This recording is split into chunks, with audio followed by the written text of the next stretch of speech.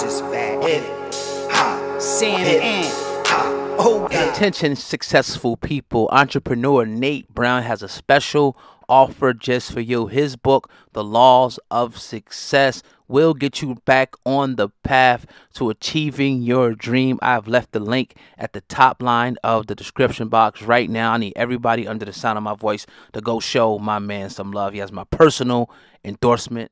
All right, man. Your boy Kodak Black pleaded guilty to his whole sexual assault conduct case yesterday. Now, after the news dropped early yesterday, you know, people started going in on Kodak Black pretty much on Twitter, on Facebook, Instagram, saying, look, how the heck are you going to plead guilty to uh, pretty much what it uh, equates to a rape case?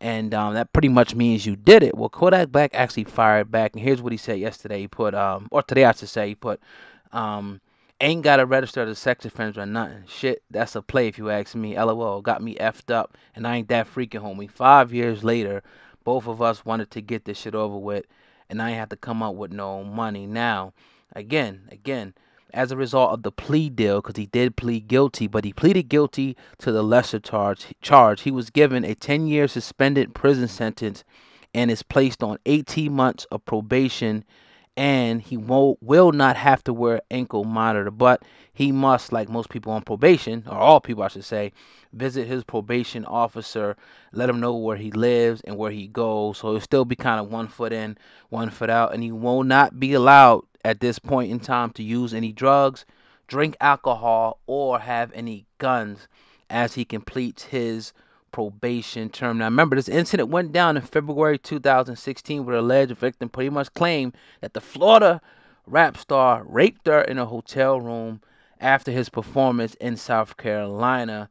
Now, again, him and the victim, they came up with an agreement. He pleaded guilty to the lesser charge. And, um, you know, that is what it is. Now, the lesser charge is first degree assault and battery and initially, he was facing up to 30 years in prison. That sentence was taken down to 10 years. And he, again, he was given a suspended sentence of 18 months of probation. And uh, like he said, he won't have to register as a sex offender. So that's the best possible scenario. I can remember probably six months ago, he was in prison. He was going through it. He was getting, you know, that, that treatment that most people get in prison. He was crying out and it looked like this dude was going to at least do five to ten years. So this is nothing but a blessing for Kodak Black. Another lease on life for the young man. Hopefully, hopefully he takes this as a second chance and does right and tries to stay out of the system and stay out of frivolous cases like this, man. So shout out to Donald Trump, you know what I mean, for um pardoning him and whatnot. But the rest is up to him at this point. I mean, you ain't gonna have nobody. That's a once in a lifetime thing. Everybody ain't gonna get no Donald Trump pardoning him. You know what I'm saying? But we'll see, man. But definitely wish the best for Kodak Black going on, you know, here forward.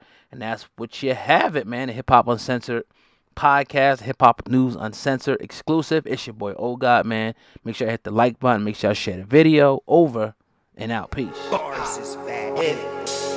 Sam and Oh God, what's up with you? Hip Hop Uncensored is the vibe, so subscribe. Hip Hop Uncensored is the vibe, so subscribe. Oh God, driving Sam and riding passenger side. And you heard it out the mouth of the greatest rapper alive. Interested in promoting your brand, business, or talent on Hip Hop News Uncensored? Hit me up right now at advertise at hiphopun.com. That's advertise at hiphopun.com. Hit me ASAP very affordable rates now to our regularly scheduled program. Let's